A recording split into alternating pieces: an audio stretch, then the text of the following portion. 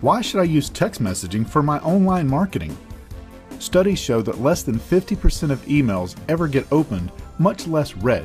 Compare that with the fact that over 97% of text messages are looked at and read within one minute of being received. That's a very powerful marketing tool at your disposal. So when you, someone comes to your website, when they enter their name and email, if you give them the option of giving you their cell phone, you can then text them that you've sent the information to their inbox, increasing their chances of opening that email and increasing the chances of conversion to a customer. So again, text messaging is a new technique for online marketing to dramatically improve your effectiveness.